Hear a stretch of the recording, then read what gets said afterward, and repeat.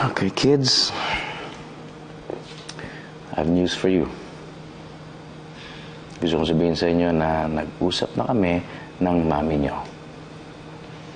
Did she tell you when she's coming back? Bakit pa kasi mas gusto niya pa sa condo magstay? Maybe she doesn't want to see Papa anymore. Bakit po, Papa? Inaway niyo pa po si Mama? Ano? Hindi ko inaway ang mama mo. Ah. How am I gonna say all this? Kids, there are certain things na hindi namin napagkakasunduan ng mama niyo. Kaya siya umalis.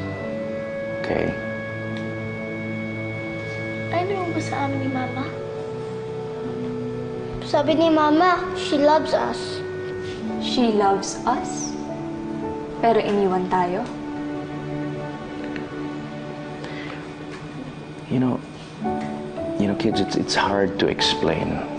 Pa, hindi talaga namin to maiintindihan. Because you're not telling us. That's so unfair. I feel like you're hiding something. What's going on? Anong ginawa mo?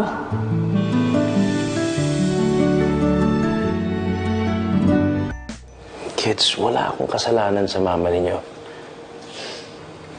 Siya ang umalis. And I don't understand why. Pa, she won't leave kung wala ka namang ginawang masama. Okay, this sucks. Michael, don't say that, okay? Don't you ever dare say that. Okay? Naglaya si Mama and you can't even explain why?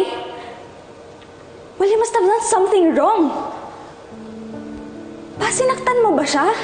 Jessica, hindi ko sinaktan ng mama niyo. I can never do that, okay? Kids, I want you all to know that my problem here is that hindi ko kayang maibalik si mama dito. I'm having a difficult time and I don't know how and why. Papa, I will help you para sumaya si Mama. Then why can't you make her happy? Okay. Yeah. I don't know how and why I'm not making her happy. I don't. Alam niyo sinasabi ko sa inyo lahat to.